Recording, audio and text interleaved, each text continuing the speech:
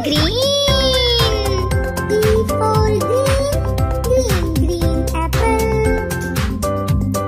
H for hills, H for house.